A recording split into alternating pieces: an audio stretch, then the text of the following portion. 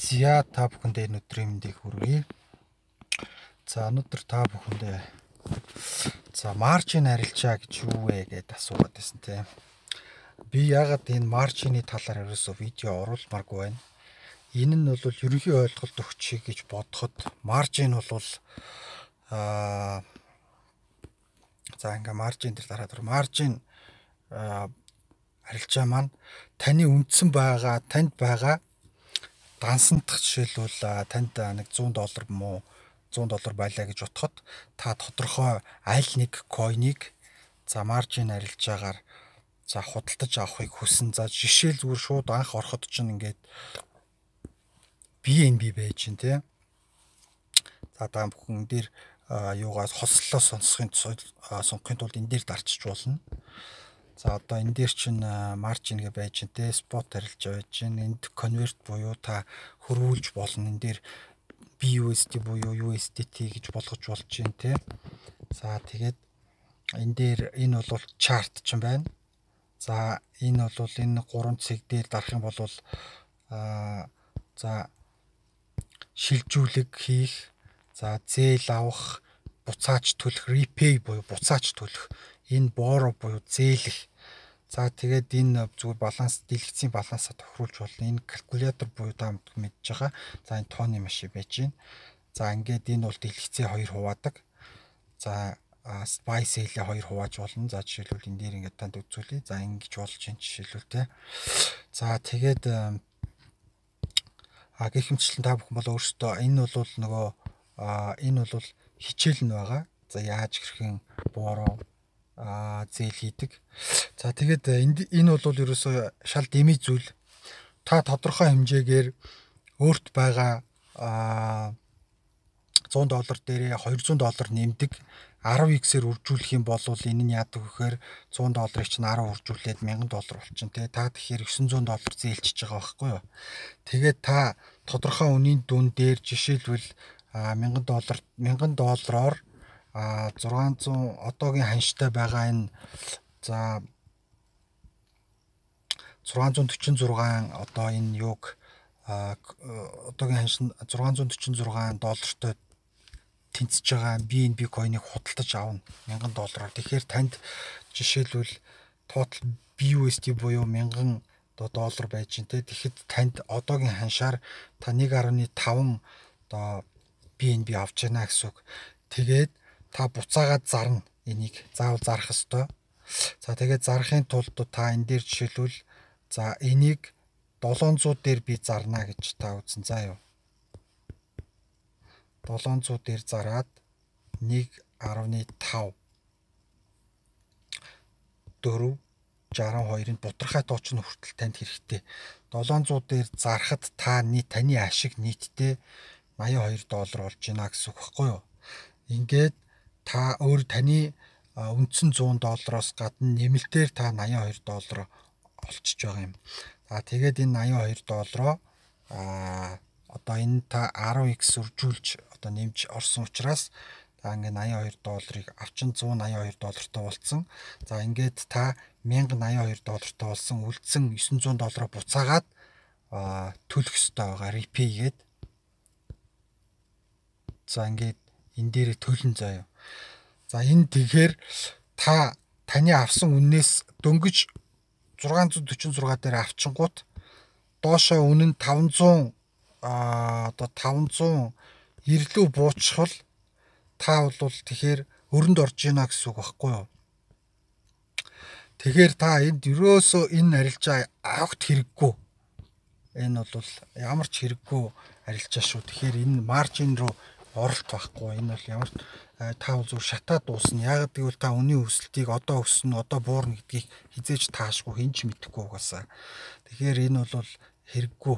Зүгээр энэ бол би бол бодохдоо Binance мэдээж яг уу ашиг үнэхэрийн өсөлтийн трендээр одоо буулраан явж байгаа үед бол үнэхээр за энэ дээр ороод би нэг ингээд ашиг хийгээ гарчий гэж бодож болон таны үндсэн за 100 доллартай байгаад байдаг нэг 1.5 бүхлээр нэг арилжаа хийгээд буцаагаад зарчий гэж бодох нэг тийм хүн байж болно шүү дээ. За тэгэхээр тэрэн дээр бол чадахгүй байлаа гэж бодоход та бол яг энийг ашиглаж болдог байна. За тэгээд бол шал дэмий байдаг. Энд дээр бол шатаад дуусна дөнгөж одоо эхэлж байгаа хүмүүс бол энэ маржин арилжааг бол одоо оролдохын чирэг байхгүй. А зүгээр тэрний оронд спот арилжаа хийгээд явсан хамаагүй ашигтай байгаа. За тэгээд дараагийн зүйл нь юу вэ гэхээр та бүхэнд бас нэг танилцуулахад futures арилжаа. Энэ дээр за futures арилжааг ер нь өмнө нь би хилцсэн байгаа тийм ээ. За та бүхэн болвол futures арилжааны би зөвхөн зүгээр арга барилаас л хуваалцах гэдэг. Тэгэхээр өмнө нь одоо эдгээр одоо зүйлүүд нь яаж яаж хэрэглэгддэг тухай ярьсан а энэ дээр нэмэлтээр жишээлбэл та бүхэнд бас нэг хідэн зөвлөгөө өгөх гээд за байж гин. За тэгэхээр за таны орсон үнийн дүн за та жишээлбэл одоо би бол одоо энэ дээр жишээлбэл солоно дээр бол орцсон байж гин. За миний хувьд бол би өөрөө энэ солоног техник шинжилгээ хийгээд ер нь бол өснө гэж бодсон байгаа учраас за өөртөө ихтэй байгаа учраас би нэг 20x-ээр орцсон. За нийт 70 ширхэг солоно авсан байгаа. За тэгээд энэ өсөлт маань за liquidation price маань болохоор 39 дээр ирсэн байгаа. 20x-ээр орчоод ах чи яагаад энэ доор байна вэ гэж гэж байгаа маань болохоор дахиад үндсэн орсон баланс дээрээ маржин буюу одоо энэ энэ маржины нэмэх тэмдэг байгаа энэ дээр та дарна. За дарахаар ийм гараад ирж байгаа. За энэ дээр та жишээлбэл өөрт байгаа 100 доллар дахиад таны одоо та жишээлбэл а фьючерс арилжаанд орохдоо дансан чинь дахиад нэг 100 доллар цаан чинь байх юм бол тэрнийхээ 50-ыг нь бичээд энэ дээр конфирм хийх юм бол а liquidation price энэ харагдаж байна. Энэ энэ үнийн дүн чинь цаашаа холддог байх нэ. За ингээд явна. Тэгэхээр цохиулахгүйгээр за мэдээч хэрэг стоп лосс тавьсан байгаа. Стоп лосс тавихгүйгээр за жоохон холдуулаад энэ жоохон энд миний тавьсан стоп лоссоос жоохон хитрээд буцаад өгсөж гээд байна. Миний орсон оролт жишээлбэл уг нь их ашигтай оролт байгаад байдаг тийм ээ. За тэгэхээр тэгээд ингээд ер нь бол өсчих гээд байгаа юм шиг санагдаж байгаа тийм мэдрэмж төрж байгаа болвол liquidation price-а жоохон холдуулаад stop loss-оо жишээлбэл та зохиулахгүйгээр за ингээд төр жоохон холдуулж болдог ийм арга байдаг шүү. За тэгээд хэрвээ таны stop loss-ыг чинь хитрээд үндсэн ингээд stop loss-ыг чинь энд байлаа stop loss чинь эндээс бууж ирээд за бууж ирээд за stop loss чинь энд байла. Эндээс бууж ирээд мөрөхгүйгээр дахиад доошо сэтэлчлээ. За тэгсэн чинь за марта маржинаараа за liquidation price-а холдуулсан байлаа гэж бодъё. Liquidation price чи энд байна. Тэгэнгუთ та энэ хавьд ч юм уу stop loss бас тавьж болно те. Эндээс эргээ мөрөгчөөд явчих магадгүй гэж тооцоолоод. А хэрвээ мөрөхгүй эндээ байгаад ингээд шалгаад бас ингээд мөрөгчгөөл ингээл liquidation price-ийг чинь цогцохгүй л яваад байна. Тэгэх юм бол дахиад margin liquidation price-а бас холдуулж бол гихтээ энэ таны орсон оролт заавал э, техник шинжилгээ чинь үнэн байх хэрэгтэй. Энэ буцаад өсөх магадaltaй гэж итгэсэн тохиолдолд энэ үйлдэлийг хийнү гэхээс биш ямар ч зүгээр хар зургаар ямар ч зураг зурлгүй ингээд хар ухаан таамгаар ингэж орж болохгүй. Тэгэх юм бол та мөнгө алдаад дуусна үндсэн дансанд чинь мөнгө байхгүй байгаад байдаг. Гэтэл маржин ликвидашны чинь цохоод хамаг дансыг чинь хоослох гээд байдаг тий. Тэгээ нэммээр байдаг, холдуулмаар байдаг.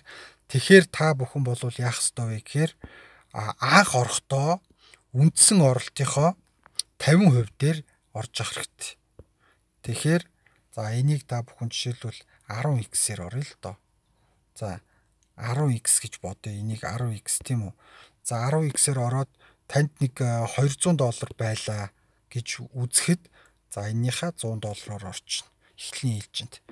За тэгээд орцсон байж исэн чинь үнийн дүн жишээлбэл за ингээ явж ирснаа доошоо унаад таны стоп лоссыг чинь цохих гэж байна. Стоп лоссоо 50-аас урцсан штэ. А гэтэл дахиад эний чинь мөргөөд ингэх гээд байгаа мэдрэмж төрнө.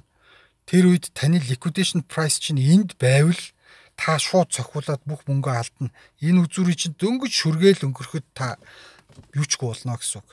Тэгэхээр liquidation price-а энд цохиулахгүй тулд дахиад холдуулна гэсэн үг. Холдуулахын тулд за түрүүний та бүхэнд ингэ хэлсэн энэ маржин руугаа ороод Тэгээд энэ дээрээ дарж ороод шууд энэ дээр үлдсэн 50 доллар 100 доллароо хийгээд конфирм дарчна.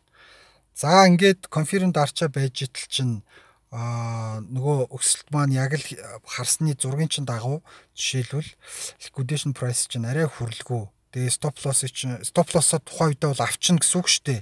Яг тэгвэл холдуулсан учраас тэгхгүй бол стоп лоссыг чинь зохиод таны оролтоос чинь гараа авчих учраас алдагдлаа хүлээгээ гарчна. Тийм учраас тухайн үедээ хэрвээ холдуулж байгаа тохиолдолд стоп лоссоо бас авч авах хэрэгтэй.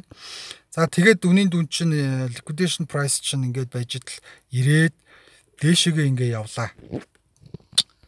Яваад за үндсэн entry price буюу орсон оролт чинь энчээ байж байгаа За тэгээд ингээд эндээс чи дээшээ гараад явчих үед та яах вэ гэхээр буцаж ирээд за маржин дээрээ чод энэ дээрээ дараад за энэ add margin гэдэгт энэ энэ нэг зураг байгаа энэ дээр дарчна. За ингээд дарчингууд remove margin гэж бац. За margin өөрийнхөө нөгөө өмнө нь оруулсан дахиад нэмэлтээр оруулсан 100 доллароо за ингээд бичээд тэгээ энэ дээр max гэдээ дарчна. Тэгэнгუთ Тэгээд дарчаад конфирм дарангууд таны оруулсан нөгөө үндсэн дансанд байсан 100 доллар чинь буцаад өөрийн за нөгөө фьючерс арилжааны чинь wallet руу орчно гэсэн үг. Та тэгэхээр заавал ингэж фьючерс орохдоо isolated гэж заавал орох хэвээр. Энийг байнга нэгтлэх хэрэгтэй. Cross-оор орж болохгүй. Тэгээд X-ээ тохируулж сурах хэрэгтэй. За ингээд аюулгүй би байдлаас нь юм алдах вэ гэдэг үднээс та бүхэнд бол энийг тайлбарлаж өгч байгаа шүү. За тэгээд энэ энэ ямар учиртай юм бэ гэхээр энэ бол яг хөө скриншот хийж болно тий. За ингээд За энэ дээр одоохондоо гарч ирэхгүй байна. Ер нь бол скриншот хийж болдог. За тэгээд мөн одоо та бүхэн энэ дээрээс жишээлбэл чартаа харахын тулд би зүгээр гар утсан дээр харуулж байгаа шүү. Гар утасны аппликейшн дээр. Тэрнээс компьютер дээр бол заавал сууж харах хэрэгтэй. Тэгээд За гар утсан дээр бол одоо ингээд чартаа бол ингэж харан за мөн энэ индикаторууд байж гин энэ доор энэ энэ байна. EMA, vol, volume, MACD за RSI, KDH гэж за эднэрийг жишээлбэл миний одоо бол харж байгаа индикаторууд нь бол эдгээрүүд байна. За мэдээж эднэр бол тийм компьютер дээрх шиг шууд гой төгс харуулж чадахгүй ч а ерөнхийдөө би өөрийнхөө ашиглаа сурцсан байгаа учраас өөрийн арга барил өөрийн нөгөө мэдрэмжээ бол энэ дээр хардаа гэсэн үг. За энэ EMA за энэ MACD за RSI гэдэг ингээд юунууд чинь бол ерөнхий үндсэн хөтөлбөөнүүдийг танд ингээ харуулж өгдөг чиглэлүүдийг за Тэгээд мөн deep буюу энэ дээр бас дарж харж болно энэ дээр. За энэ дээр бол нийтдээ дарах юм бол за buy signal их вэ нү, sell signal их вэ нү гэдгийг ер нь бол эндээс орж харж болно гэсэн үг. За энэ дээр бол ерөнхийдөө одоохондоо ансан байдалтай. Энэ дээрээс бол buy signalууд бол ер нь бол орж ирж гин гэж ингэж харж гин. За ер нь бол buy signal за энэ дээр 44 10-ны 2 дээр бол эхний баярууд байна. Хүлээжийн за 42 дээр баярууд байна. 39.8 дээр бас байна гэсэн иймэрхүү зүйлүүдийг бол ингээ харж болно. За зарах сонирхолтой хүмүүс нь жишээлбэл 44 10.2 дээр их зарж гин 46 14 дээр зарж гин 48 дээр захиалгууд байна ч гэдэг юм уу. За ингээд ерөнхий бол энэ deep deep дээр юг ингэж харж болдог байх нэ. Хөдөлгөөнийг ерөнхийд нь. За тэгээд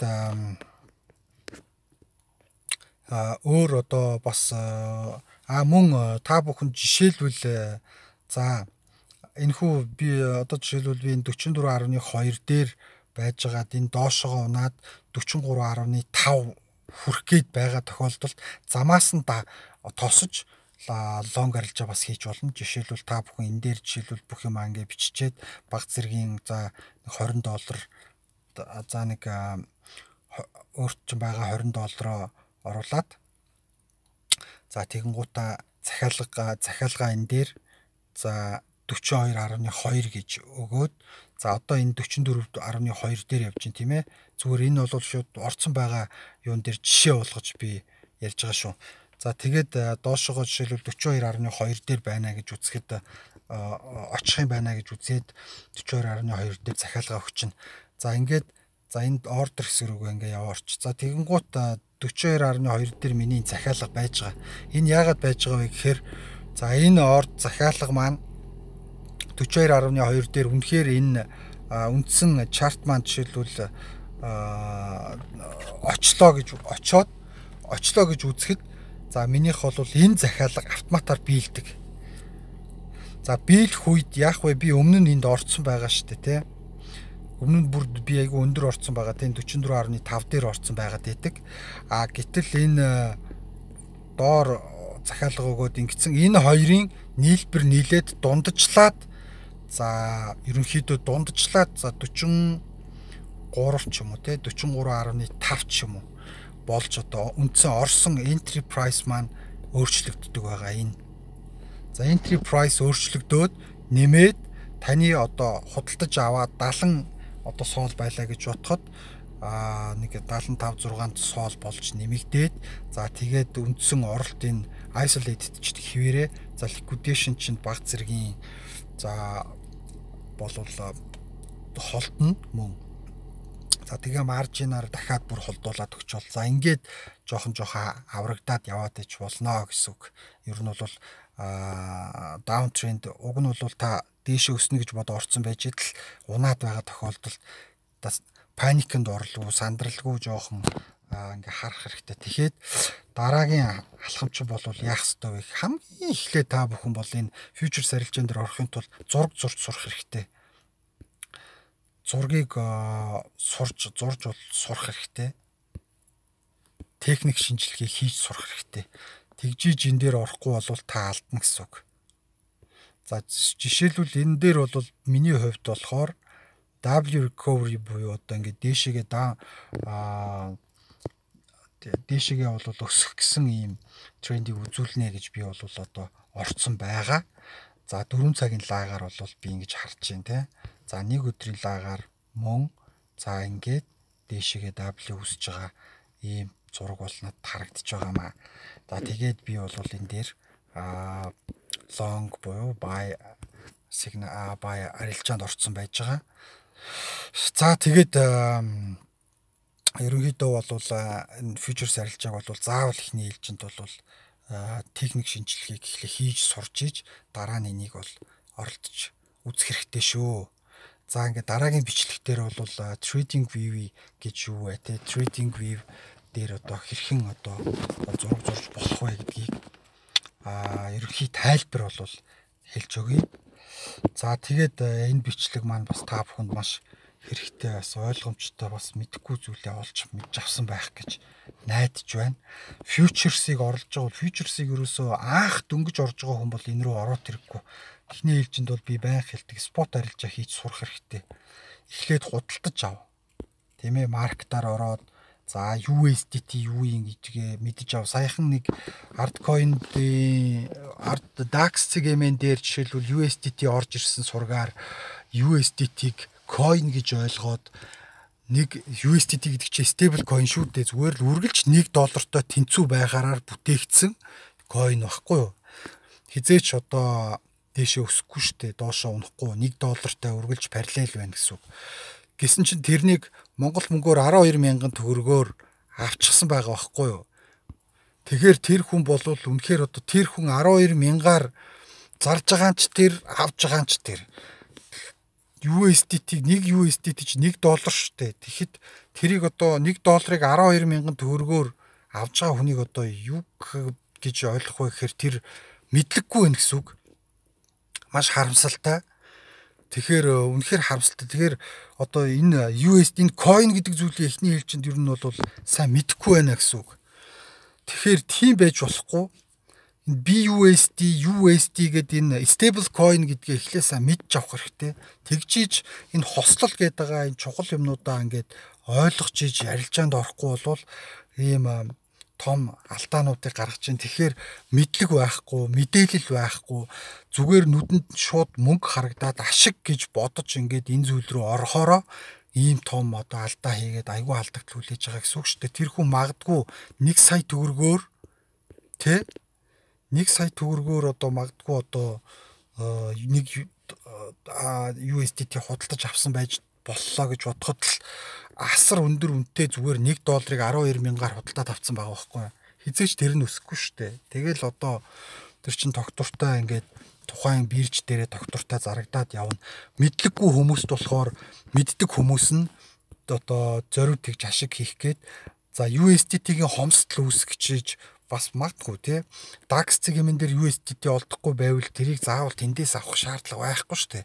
Тэр DAX цэгийн дээр зөвхөн ардкойныг л авбал юу юм гэхээс биш одоо энэ USDT олдохгүй байх гэж байхгүй шүү дээ. USD ardcoin-ыг авахын тулд яг USDT шилжүүлж болох юм тийшээгээ. Тэн дээр хадгалъя. За ardcoin-ы wallet-ын дотор ardыг аваад хадгалъя. Тэрнээс бусдаар одоо биткойн, этериумыг авч хадгалах то ямар одоо шаардлага бол байхгүй. Тэгэхээр бол тийм харамсалтай зүйлүүдийг бол би бас нэлээ олж харсан. Тэгэхээр бол та бүхэн эхний ээлжинд энэ coin гэж юу вэ? Миний өмнө нь ярьсан бичлэгүүдийг бас үзээд тэгээд э, тэгжиж дараа нь ингээд сайн юм ойлголттой болж иж энэ зүйл рүү орохгүй болвол шатаа дуусна шүү. Тэгээ юугаач мэдхгүй орох юм бол чи балраа штэ тий. Тэгээд айгүй харамсалтай зүйлүүд бол нэлийн харагдчих шиг байна тий.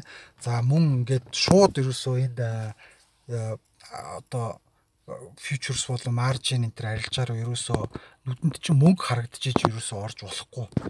Зөвхөн алдаж болох. За жишээлбэл 100 э, доллараар 100 доллар ч уу шүү дээ. 100 доллараар та нэг э, ямар ч вэ? За нэг линк миг ч юм уу, за нэг ийм coin авчлаа гэж бодоход 47 доллартай байхад нь за нэг дөрвийг авлаа. За хоёрыг авъя л та 100 доллараар.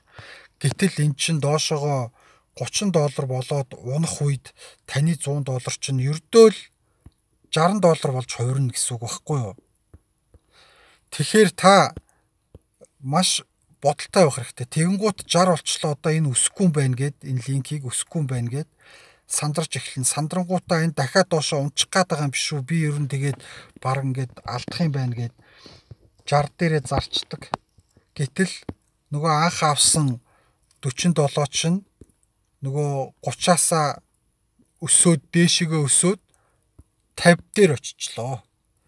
Тэгэнгუут та яах нь ашиг хийх байсан газар алдаж байна гэсэн үг. Тэгэхээр төвчээртэй паник сел хийж болохгүй.